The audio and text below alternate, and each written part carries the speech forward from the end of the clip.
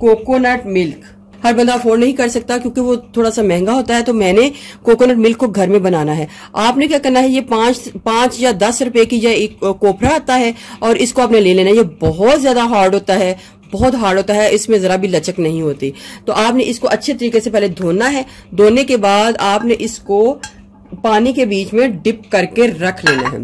तकरीबन इधर मुझे चार से पाँच दिन हुए हैं इसको डिप करके रखे हुए। आपने किस तरीके से इसको डिप करना है? पहले आपने इसको धोना है, पानी को गर्म करना है, थोड़ा सा ज़्यादा गर्म करना है। नीम गर्म पानी से थोड़ा सा ज़्यादा गर्म करना है। धोने के बाद आपने इसको, इसके बीच में डिप कर देना है।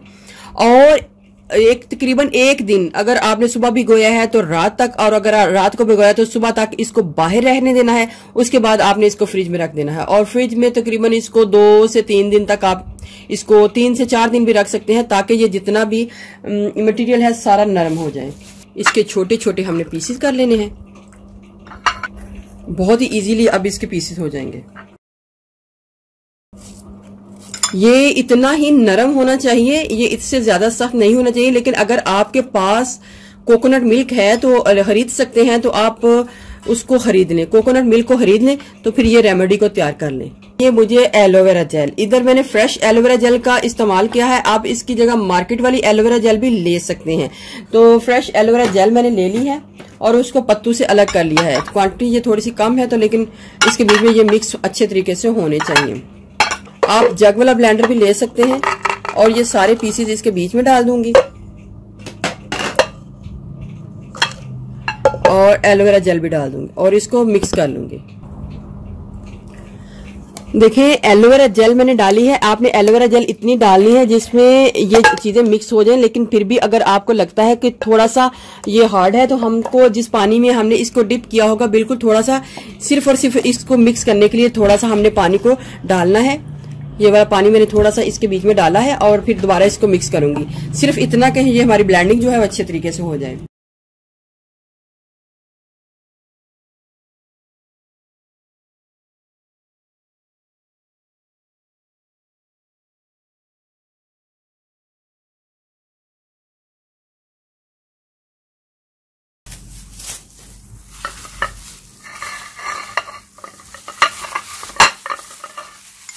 ये सारा मटेरियल है कोकोनट कोकोनट और एलोवेरा जेल का।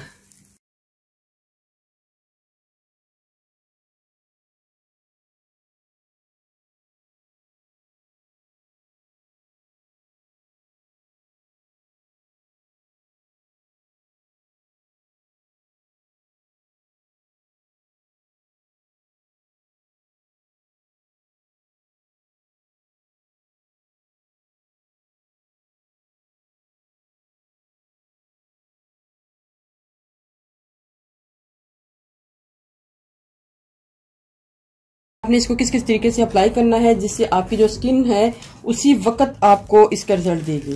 तो किसी की हेल्प की ज़रूरत पड़ेगी। तो इस तरीके से रखें। इसको अप्लाई करें और मसाज करें। पहले आपने मसाज करना है। और ये जो टिश्यू पेपर है, इसको मैं इसके ऊपर लगा दूँगी ऐसे करके। आपने भी फेस के ऊपर लगाना है। लगा लें।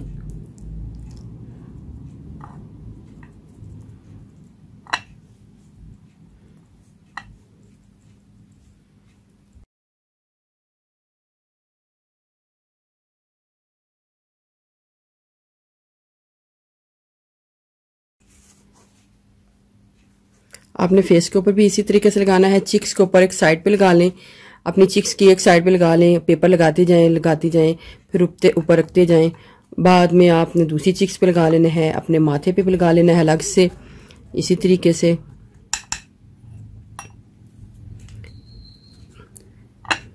बहुत ज़्यादा जो कोकोनट मिल्क है, इसके अंदर जा रहा है।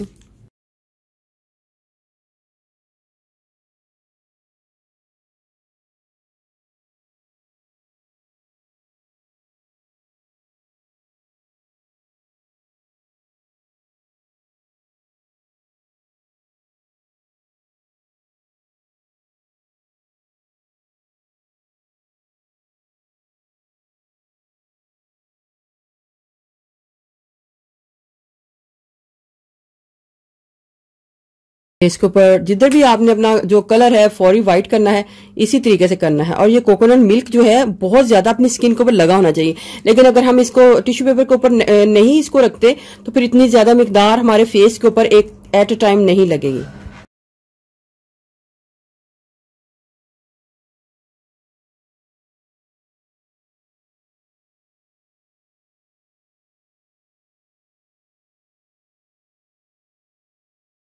अब इसको मैं ड्राई होने के लिए छोड़ती हूँ और अगर आपकी मर्ज़ी है, ये ड्राई हो जाता है, आप इसको इसको ऊपर और भी लगा सकते हैं। ये आपकी मर्ज़ी है, जितना ज़्यादा आप ये कोकोनट मिल्क और एलोवेरा जेल है, वो लगाते जाएँगे, आपकी स्किन के ऊपर बहुत ज़बरदस्त रिज़ल्ट आने वाला है। अब मैं इसको ड्राई होने के लिए छोड़ती हूँ, दस से पंद्रह मिनट तक पंखे के नीचे रखती हूँ और ये ड्राई हो जाए। आपने जब अपने फेस के ऊपर लगाना है तो फेस के ऊपर आराम से लेट जाए और किसी की मदद से आप अपने फेस के ऊपर इसको अप्लाई करवा लें।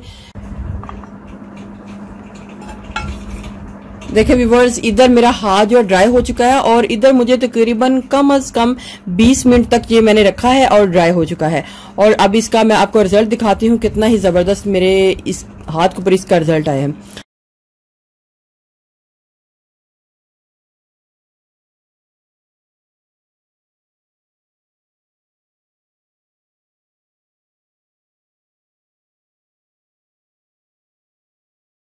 देखिए व्यूवर्स कितना खूबसूरत मेरा हाथ हो गया है और ये ग्लो भी कर रहा है।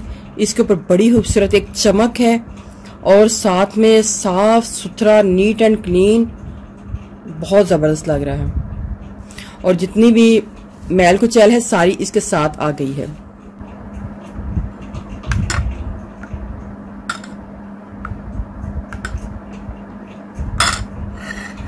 इसके आप क्यूब्स बना के रख सकते हैं, इसको फ्रीज कर सकते हैं।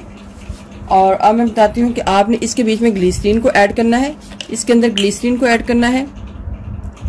थोड़ी सी ग्लिसरीन हाफ़ टी स्पून डाल दें।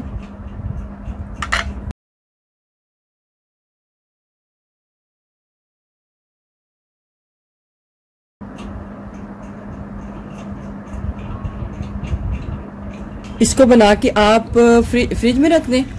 और इसके कुछ क्यूब्स जो है तैयार कर लें। और वीक में वन टाइम आपने इसको इस तरीके से यूज़ करना है टिश्यू पेपर के साथ। और फिर रोज़ाना आपने कुछ ड्रॉप्स इसके इस तरीके से लेने हैं, अपनी स्किन के ऊपर, ऐसे। और इसको ऑब्ज़र्व कर लेना है, ऐसे करके। तो आपकी स्किन के ऊपर बहुत ज़बरदस्त इसका असर आएगा। वर्स अगर आपको मेरी ये वीडियो अच्छी लगी तो मेरे चैनल को सब्सक्राइब कीजिएगा। और जिन्होंने ऑलरेडी सब्सक्राइब किया, उनका बहुत बहुत शुक्रिया। मिलते हैं एक न्यू वीडियो के साथ। अल्लाह हाफिज।